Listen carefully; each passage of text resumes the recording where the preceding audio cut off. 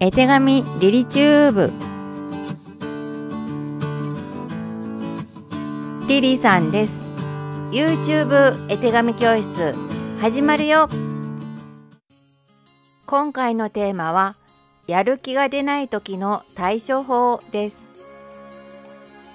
絵手紙を続けていると以前は面白くてどんどん書いていたのに最近は書いたことがあるモチーフばかりであまりそそらないって感じたり今はスランプで書く気がしないって時期が来る時だってあります。こんな時どう対応すればよいのでしょう？私の対応方法を今回は3つご紹介しますね。実は私は絵手紙を始めて5年ほど経った時スランプに陥りました。絵が全く描けなくなってしまったのです。その頃の私は立派な絵や立派な言葉を書かなければいけないさすがリリちゃんそう思われるようなものでなければ私の絵手紙は価値がないそう思っていました。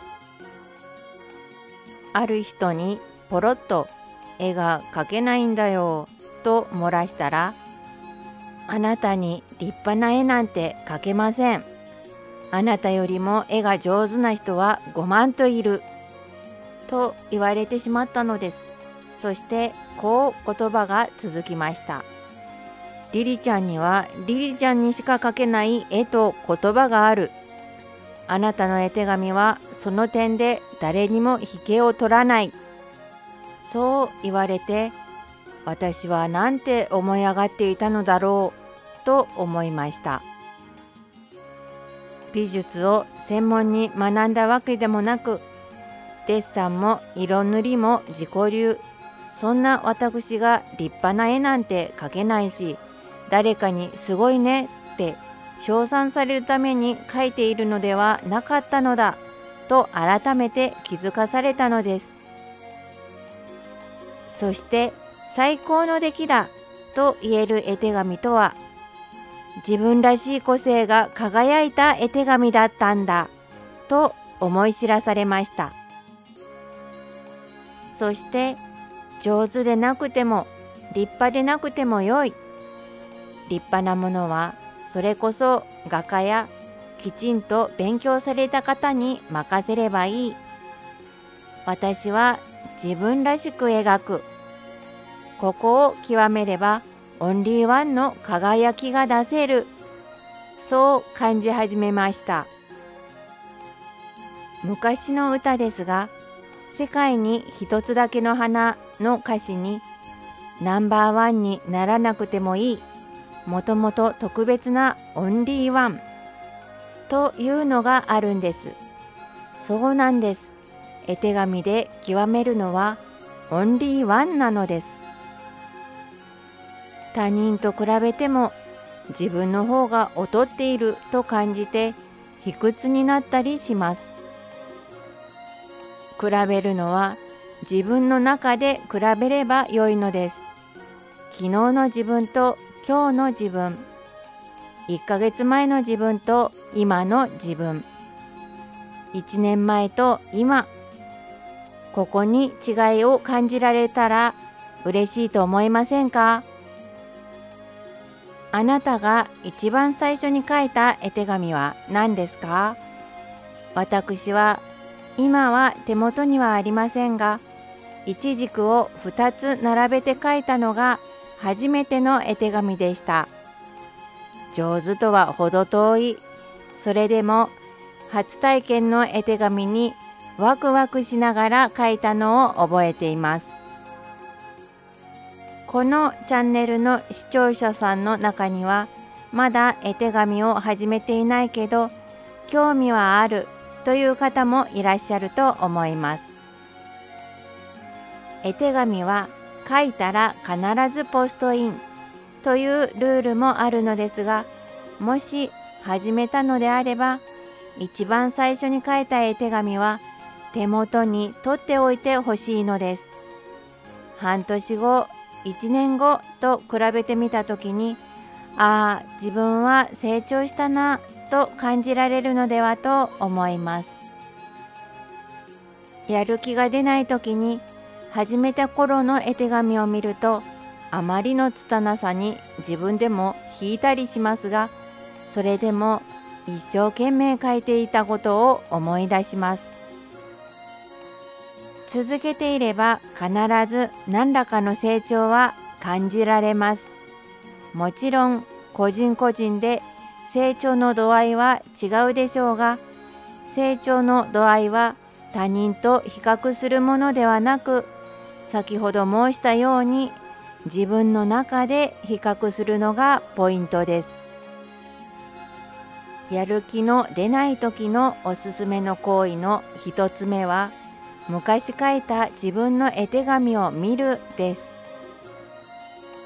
もちろん見たからって速攻で絵手紙を書き始めることができるわけではありませんが私頑張ってきたなぁと自分が歩んできた道を正しく受け止められるのではと思います。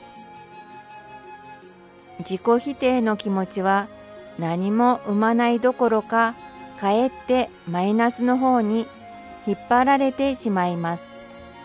うつうつとした気分にならないためにも過去の自分と今の自分はどう違うのか正しく評価し少しでも成長が見られたらそれを自分で褒めてあげてくださいね。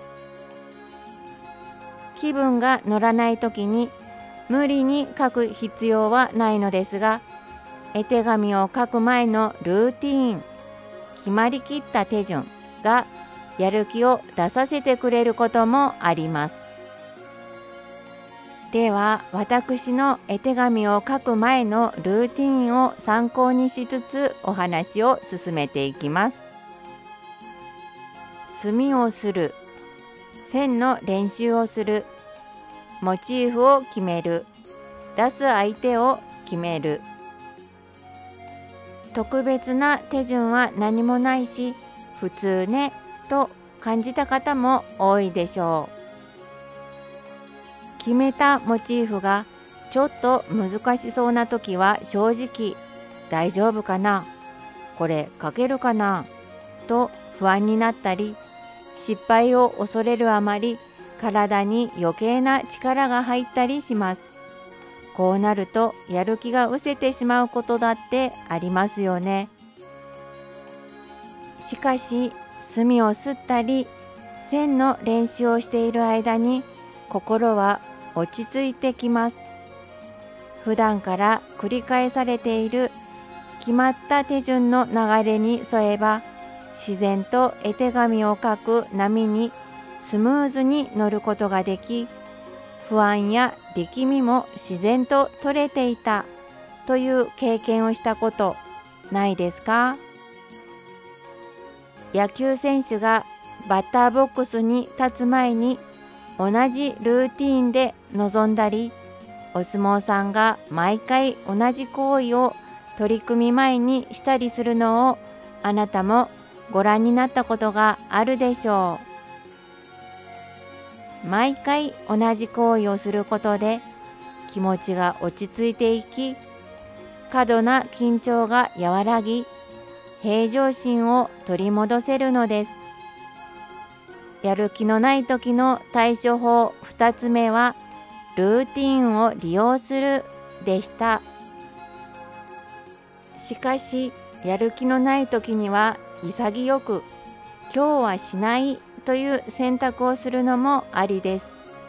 これが実は3つ目のやる気のない時の対処法です。それでもでもやってみようかしらと思ったのならばその日はハードルを低めに設定しましょう。今日は墨をするだけ。でも良いのです。絵手紙は書けずとも自分のその時の思いの丈を半紙に筆で書き綴ってみましょう今日は墨色研究日と割り切っていろんな濃さの墨色で文字を書いても面白いですね。気楽に落書きのように筆と墨で遊ぶ気持ちで自由に書いてみましょう。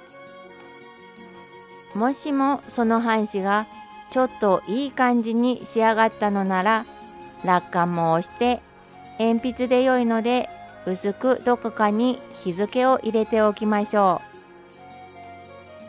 今日は墨を吸って落書きをした。